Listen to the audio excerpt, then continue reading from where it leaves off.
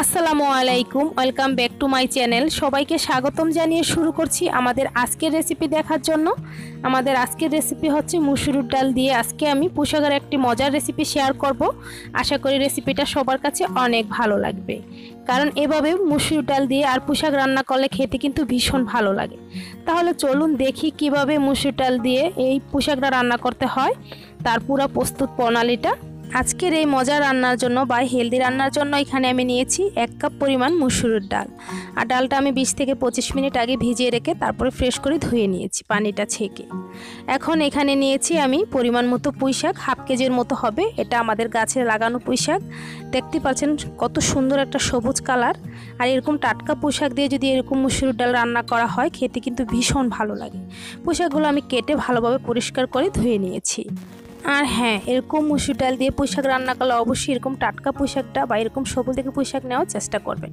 এতে করে তরকারির কালারটা অনেক সুন্দর আসবে, খেতেও কিন্তু ভীষণ ভালো লাগবে। আমার এগুলো ভালোভাবে ফ্রেশ করে ধুয়ে নিয়েছি, এখন চলে যাব রান্না করার জন্য চুলায়।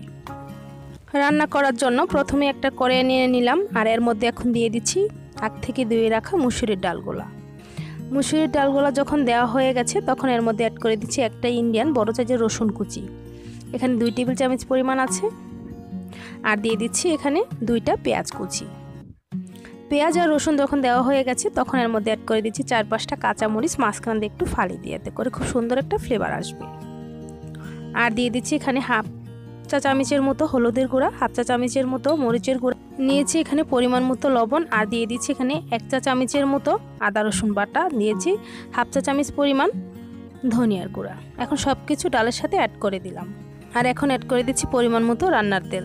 তবে চার টেবিল চামচের মতো হবে, আপনারা আপনাদের পছন্দ মতো বাড়ি কমে অ্যাড করতে পারবেন। তেলটা যখন দেওয়া হয়ে গেছে, এখন ভালো করে একটু মিশিয়ে নিতে হবে। এখন আমি হাত দিয়ে খুব ভালো করে এটা মিশিয়ে নিব। ডালের সাথে সব কিছু একসাথে মেখে নিতে হবে। সব কিছু যখন ভালোভাবে মাখানো হয়ে গেছে, এখন আমি এর মধ্যে অ্যাড করে দিচ্ছি পানি। এখানে পরিমাণ মতো পানিটা অ্যাড করতে হবে যাতে ডালটা খুব ভালোভাবে সিদ্ধ হয়ে যায়। আমি এখানে ডালের পরিমাণে কিন্তু পানিটা অ্যাড করে দিয়েছি যাতে যেই পানিটা দিয়েছি পানির মধ্যে যাতে ডালটা খুব ভালোভাবে সিদ্ধ হয়ে যায়। এখন চুলায় বসিয়ে দিয়েছি আর ঢাকনাটা ডেকে সিদ্ধ করে নিচ্ছি। ফিরে আসলাম ছয় থেকে সাত মিনিট পর। এরই মধ্যে দেখতেই পাচ্ছেন ডালটা খুব ভালোভাবে কিন্তু সিদ্ধ হয়ে গেছে।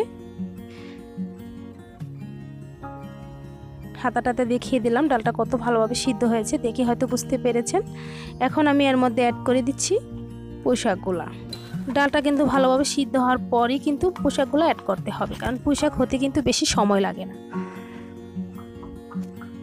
আমি যে টাইমটা সিদ্ধ করেছি, এর মধ্যে ডালটা ভালোভাবে সিদ্ধ হয়ে গেছে, আর মশলার কাঁচা গন্ধটাও কিন্তু চলে গেছে। আমি পাঁচ থেকে ছয় মিনিটের মতো সিদ্ধ করে নিয়েছি।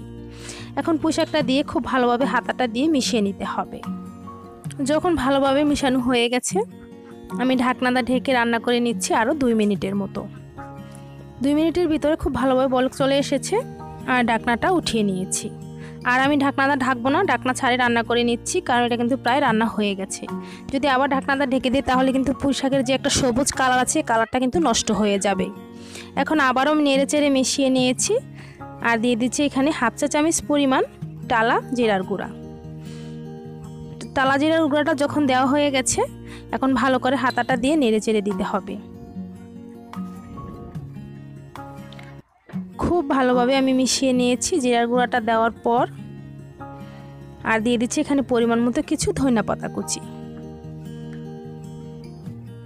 ধনিয়া পাতা কুচি দেওয়ার পরে খুব ভালো করে হাতাটা মিশিয়ে নিতে হবে। যখন ভালোভাবে মিশানো হয়ে গেছে, আমি জাল করে নিচ্ছি আরও এক মিনিটের মতো। ধনিয়া পাতা জিরা গুঁড়া দেওয়ার পরেও আমি এক দেড় মিনিটের মতো জাল করে নিয়েছি, চুলার আঁচটা একদম ফুল হিটে রেখে। এখন আমি চুলার জাল বন্ধ করে দিব আর পরিবেশনে চলে যাব। এর মধ্যে কিন্তু আমার রান্না হয়ে গেছে। দেখতে পাচ্ছেন রান্নার পরেও কিন্তু কালারটা কত সুন্দর রয়েছে। অবশ্যই টাটকা পোশাক দিয়ে যদি এভাবে রান্না করা হয়, তরকারির কালার কিন্তু দেখতে অনেকটাই সুন্দর লাগে। রান্না করা শেষ, পরিবেশন করে নিয়েছি। দেখলেন তো কত সহজে রান্নাটা করে নিয়েছি। আমার রান্না করতে কিন্তু পনেরো মিনিটের মতো লেগেছে তরকারিটা। আশা করি আজকের এই পুঁই শাক আর ডালের তরকারি অনেক ভালো লেগেছে। যদি ভালো লাগে একটি লাইক দিবেন। যদি আমার চ্যানেলে নতুন হয়ে থাকেন, তাহলে সাবস্ক্রাইব করে পাশে থাকা বেল বাটনটি ক্লিক করে রাখবেন। আর যারা আমার সাথে এতক্ষণ ভিডিওটা দেখেছেন, তাদেরকে অসংখ্য অসংখ্য ধন্যবাদ। আজ এ পর্যন্তই। আবারও দেখা হবে অনলাইনে নতুন কোনো রেসিপিতে। সবাই অনেক অনেক ভালো থাকবেন। যে যেখানেই আছেন, সুস্থ থাকবেন। আর আমাদের জন্য একটু দোয়া করবেন। আজ এখানে বিদায়। আল্লাহ হাফেজ।